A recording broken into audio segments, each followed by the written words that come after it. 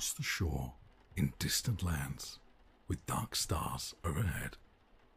The prince was fast asleep until a cat jumped on his bed. I found a secret garden, said the cat with much delight. Excitedly, they ran outside, explorers in the night. They walked through the golden garden gate. Look at the pretty trees. They walked along the pretty pebble path. Look at the colourful flowers. They walked past the fabulous flowing fountain. Look at the dancing water. Look, look, look.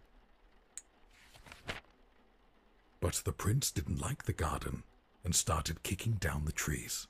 He dug up flowers, grabbed the hedges, and pulled off all the leaves. He ruined everything for fun. The cat watched on in fear. What a mistake I made, the cat cried out. I should never have brought him here.